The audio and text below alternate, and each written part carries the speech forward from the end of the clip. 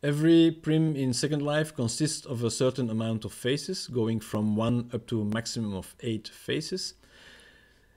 And we can manipulate the look of these faces by all the options we have here at the texture tab. Every face can have its own color, texture and, and settings. Um, if I would do an action now, it would go for the whole prim, but I can select separate faces by this option here, where it says select face. If I mark this one, you see these crosshairs appearing for the faces selected. By holding shift, I can subtract faces from my selection, or I can add them, and I can even add them at other prims, like that. And all the selected faces will be manipulated at once. Um, first thing we can do is apply a color to a prim. Um, here it says color. If you click the box uh, there, the color picker opens. You just select a basic color and then you can click around in this color picker to find something you like.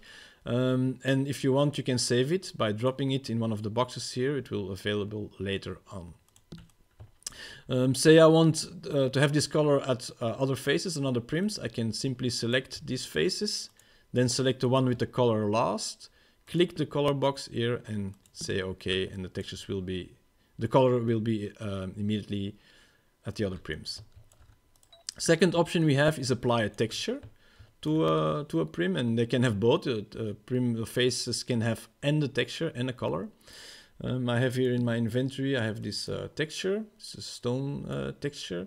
Um, if I can take it, if I drop it in here, the texture box, it will appear on the on the whole prim.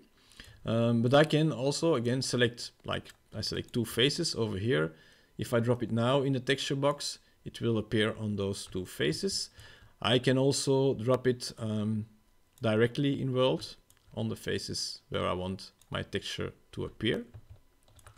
Now, um, if I have a texture selected and I click here, the texture box, the texture picker opens and I can see where the texture is in my inventory. And I can also change uh, the texture from here. I can set the default, I can set blank, and I can set transparent in here as well. Same as with the color, if I want my texture to appear at another prim, I simply select the face at the other prims, select this one last, click here in the picker and say OK, and it will appear at the other one as well.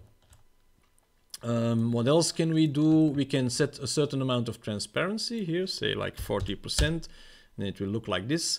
And we can set glow like this to be used with moderation. And then there's full bright.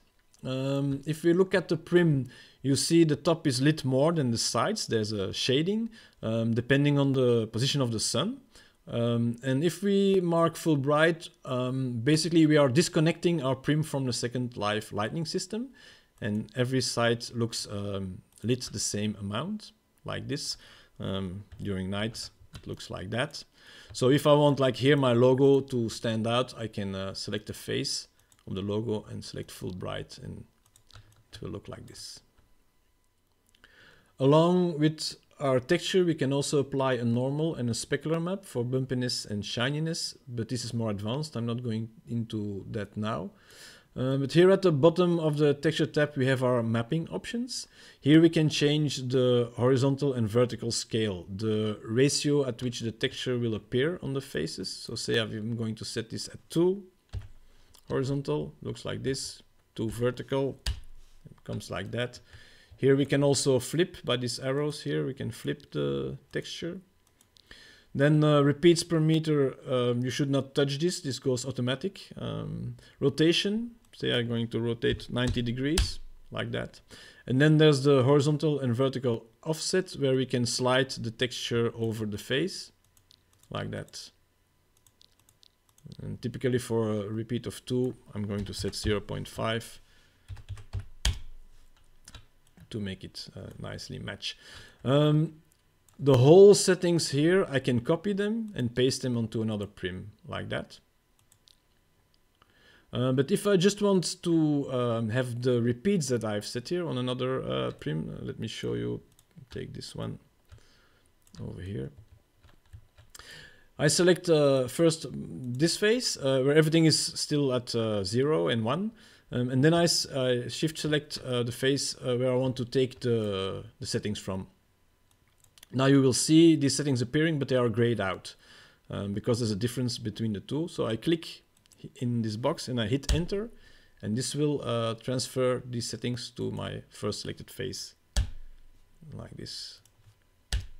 I can simply bring everything onto the other prim like that.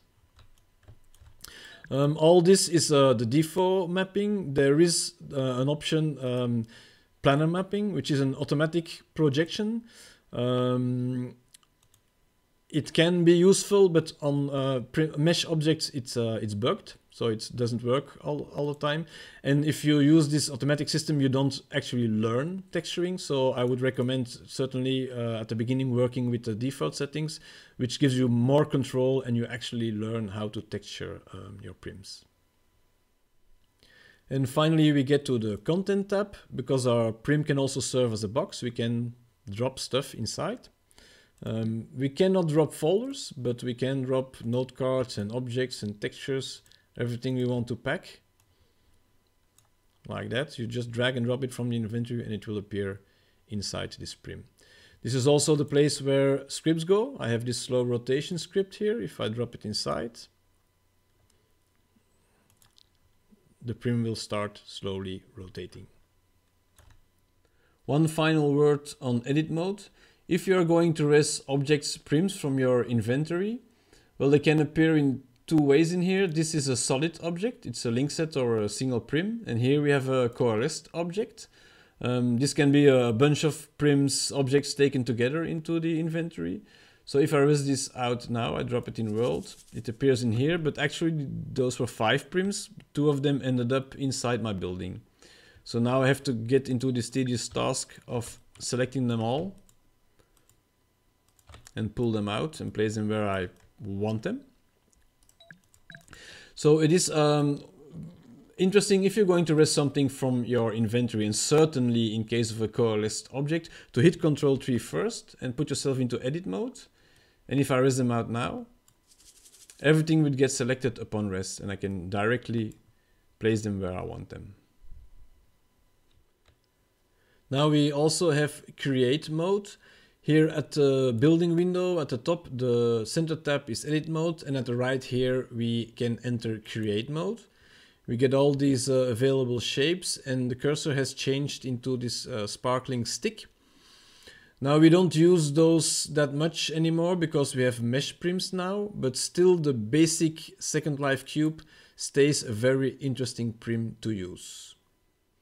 First of all, it's the fastest prim handy. You can enter create mode by hitting Control 4 at the keyboard and then you just click the floor and there is your prim. There's no way to get the prim faster in world, just Control 4 and click and you have it. I often use it as a measurement tool as well, just to get the distance between those two prims. Say I want to place another one at equal distance. I can do this quickly by the use of this cube, like that. Um, I also use it for uh, marking certain things, like say I've been building a house and this is my stairs and in the evening I'm looking at my work and then I notice, oh, there's something went wrong here. There's uh, got out of alignment and I don't feel for fixing this now or I don't have the time. So I will just rez a regular cube. I make it red and place it there. And when I come back later to this build, I can see, oh, something needs to be fixed over there. Then you should also use a regular cube as the root of your builds. There are two reasons for this. First, if you're going to use mesh products like from Zimberlab, the creator name of these objects will always be the name of the original uploader, uh, Dr. Zimberman in this case. And if you're going to build a house with products from different creators, uh, you want to have your name uh, showing up as the overall uh, creator of the building. So by using a regular cube that you rez out that will have your name as creator and you link everything to this one, the whole build will show your name as the creator's name. Second, this is the most stable root we can have.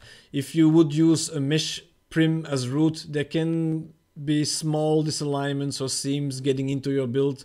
You will not have these problems by using uh, a regular steady Second Life uh, cube as your build. Make it um, some, some, part of your floor or something, somewhere down where it will collide with uh, with the world upon rez. Um, you can make it part of your floor, or you can just set it uh, transparent if you want, like that. Um, just make a regular prim the root of your build. So I think this was it. Um, thank you for watching, have fun building, and see you in Second Life.